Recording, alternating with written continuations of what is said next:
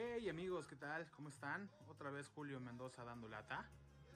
Amigos de la Sociedad de Audiófilos, Sociedad de Queretanos, eh, Puebla, Veracruz, eh, amigos de Tijuana, bueno, de todos lados, Guadalajara. Tengo muchos clientes en Guadalajara, increíble, ya creo que ya me voy a cambiar. Eh, bueno, bueno, este pequeño video que les hago, no me voy a extender tanto como el pasado. Pero eh, quiero mostrarles mi setup. Esto me lo han preguntado muchísimo. Cómo configurar su AVR aprovechando que tengo la oportunidad de jugar con un, un aquí que llegó. Ah, aquí estoy. Que es este Marantz 5014, básicamente para el 5014, eh, perdón, 50, este es 5013, pero es el mismo menú para el 5014 y también ya para los nuevos que vienen que es el 5015. Eh, entonces les voy, a, les voy a contar un poquito de cuál es el setup que yo uso. Como siempre no es obligatorio, pero les va a ayudar muy bien. El primer menú, bueno, el que más he visto que se les cuesta, les cuesta trabajo es este, el de altavoces. Eh, una vez que están aquí en altavoces, pues ustedes pueden usar el micrófono, pero la verdad es que el micrófono requiere cositas como menos de 50 dB de ruido, entonces realmente pues solo en la madrugada se puede. Eh, durante el día no creo que tengamos menor cantidad de ruido. Así que lo vamos a hacer de manera manual. Eh, les cuento, normalmente aquí este menú que es el de eh, amplificación, asignar la amplificación es cómo se van a usar los canales surround back para este modelo, aclaro, porque en, otros modelos hay más opciones o cambia.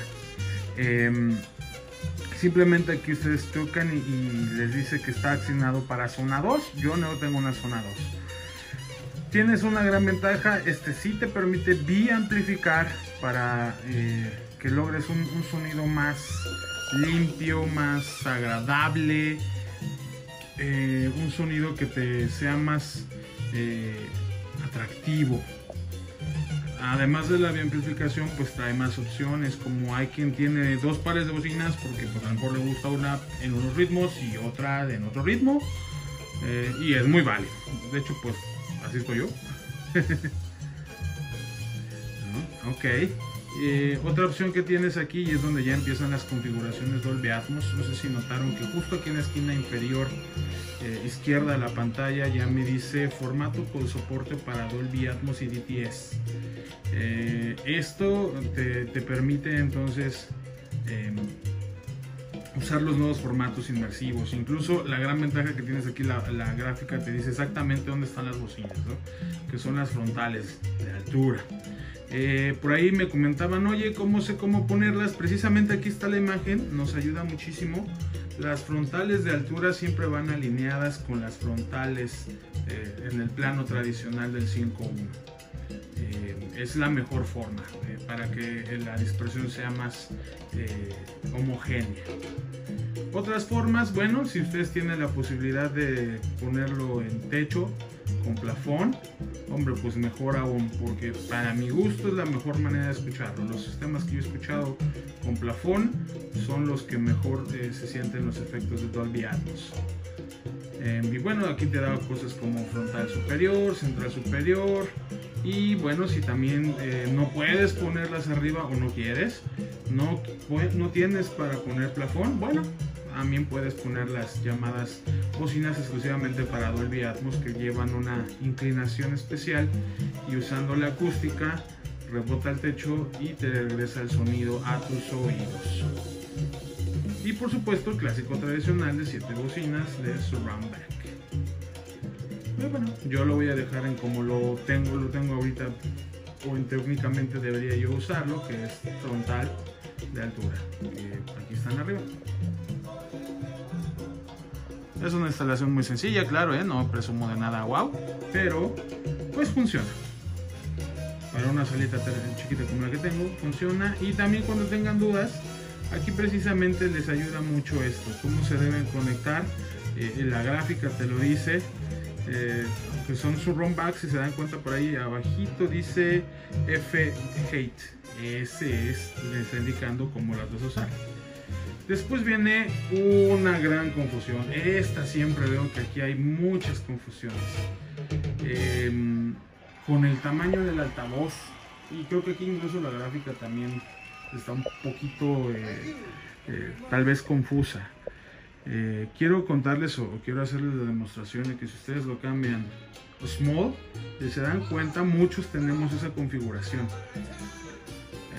tengo el Twitter, tengo el medio y tengo un eh, parlante para abajo, o tal vez dos, pero son de 6 eh, pulgadas normalmente. Em, esto eh, no se refiere al tamaño literalmente del altavoz, aunque tu lógica te lo diga, se refiere a la capacidad de reproducción. el único momento en el que tú vas a usar aquí en este menú big o grande es cuando tú sabes o te especifica precisamente tu eh, fabricante de altavoz que es de tres vías. Si te dice que tu altavoz es de dos y media o dos vías, incluso una vía, es small o pequeño. Eh, y esto es porque le va a mandar el rango completo de frecuencias y obviamente la bocina no va a poder reproducirlo y te va a generar huecos. Te va a generar eh, sonidos ahí raros o que no debieran estar entonces no, deberías hacerlo. También pasa con el canal central, surround o en este caso como altura. Entonces mientras no sean de tres vías, eh, deben ir en small. Incluso yo sí he puesto bocinas tres vías en eh, grande. ¿Por qué? Muy sencillo. A mí me gusta más el control y el trabajo que hace un subwoofer con las frecuencias bajas que lo que puede hacer una caja es por eso que lo hago, no es obligatorio. Pero es una recomendación porque este setup me funciona de maravilla. Después vamos a pasar, este es también muy importante, las distancias. Eh, es muy importante eh, que ustedes ajusten las distancias antes que los decibeles. Mucha gente primero sube decibeles y o a veces ya por eso no meten distancias. Las distancias son tan importantes, tan importantes que aquí pueden ver que te dejas poner por centímetros. Así de importantes son. 1, 2, 3 centímetros pueden hacer diferencia. Entonces es muy importante que trabajen con sus distancias, que te tomen el tiempo de medir, que si alguien les ayuda mucho mejor, eh, para que introduzcan lo más fiel posible las distancias. Créanme que el sonido cambia barbaridades con el ajuste de distancia, porque no solo es literalmente la distancia la que se ajusta, el sistema también eh, con esto ajusta los delays. ¿A qué me refiero? Obviamente, si yo tengo las bocinas eh, surround, como se ve en la imagen, más cerca que las bocinas frontales, el sonido técnicamente llegaría primero. Entonces yo escucharía un desfase realmente. Para que esto no suceda, lo que hace el sistema es generar un pequeño delay donde él calcula en qué momento van a llegar los sonidos de las bocinas exactamente de la misma manera a mi oído y que no tenga esa sensación como de un delay, como de un atraso. Es para eso, por eso la relevancia de este menú.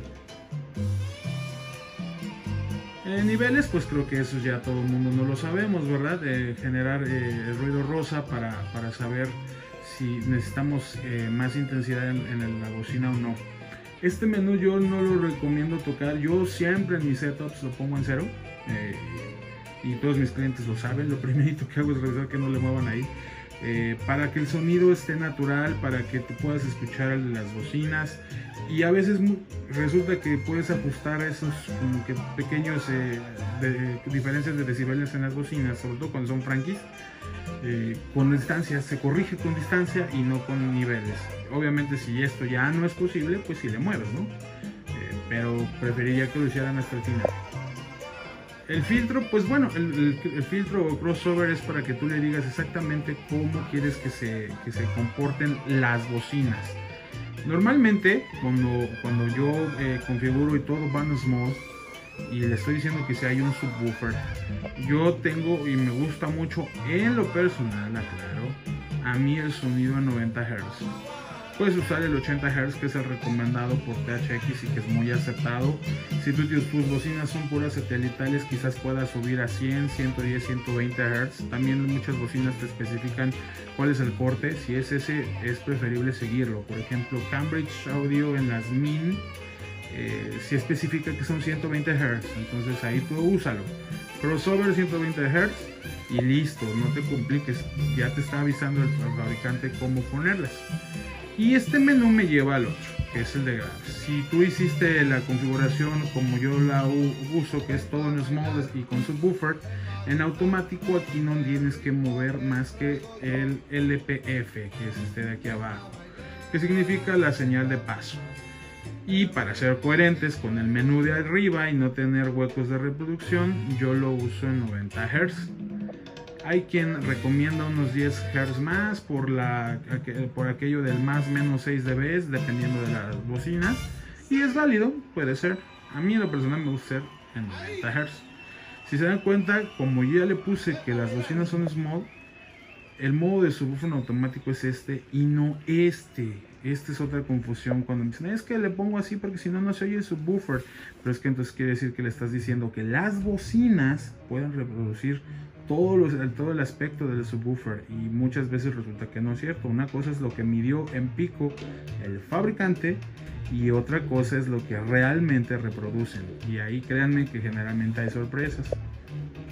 Por tanto, eh, cuando tú le dices LFE Plus Main, lo que le estás diciendo al equipo es que divida la señal entre las bocinas grandes y el subwoofer. Entonces este es el motivo porque muchas veces cuando eh, tienes tu sub no se escucha, no está intenso, las explosiones no se sienten wow, eh, no, no, no se siente vibración, emoción, lo que se supone te debe transmitir precisamente un subwoofer.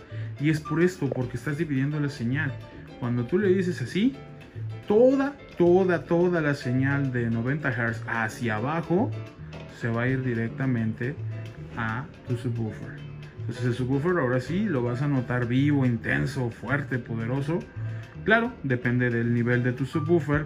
Puede ser que tengas que bajar el volumen porque ya a lo mejor no es, es una línea de entrada y, empieza a cartonear entre comillas. Y, bueno, ahí tú ya lo ajustas con el volumen. Cuando me preguntan del volumen, muy sencillo.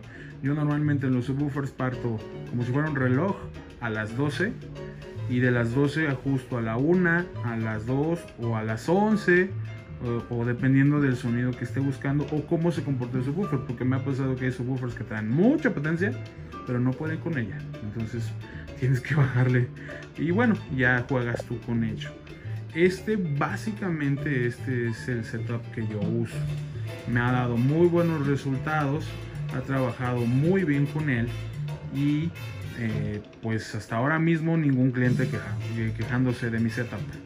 Em, obviamente, como cuento, esto es una sugerencia. Em, puedes mover parámetros, claro que puedes tener parámetros que tú puedas eh, modificar con toda gusto y alegría.